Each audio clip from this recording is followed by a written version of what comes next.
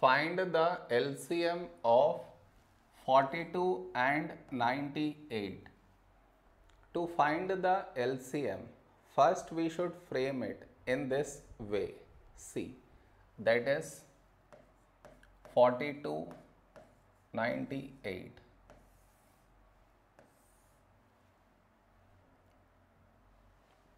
Okay, next. We focus on to the first number that is 42 here.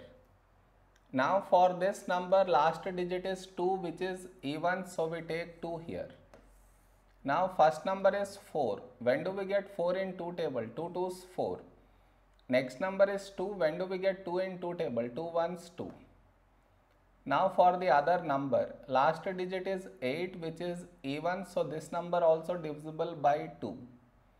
Here first number is 9. A number close to 9 in 2 table is 2 4's 8.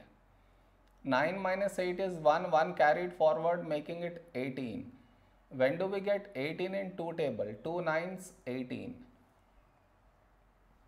Now here we have 21. 21 is nothing but 3 7's 21. The other number is 49.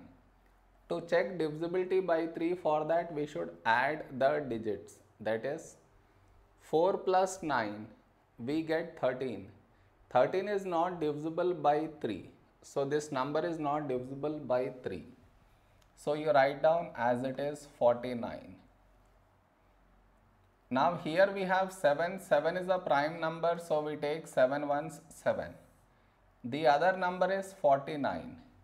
Always remember 7 square is 49 that is 7 into 7 is 49 remember that. So here 49 when do we get in 7 table 7 7's 49. Now here we got 1 so focus on to the next number that is 7. 7 is a prime number so we take 7 ones 7. So now we got 1 in both the places. So now our LCM is LCM is the product of these numbers that is 2 into 3 into 7 into 7.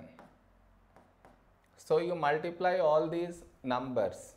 Whatever number you get that is your LCM. So let us multiply. That is 2 into 3 6. 6 into 7 42. 42 into 7 7 2's 14 7 4's 28 we get 294 this is our LCM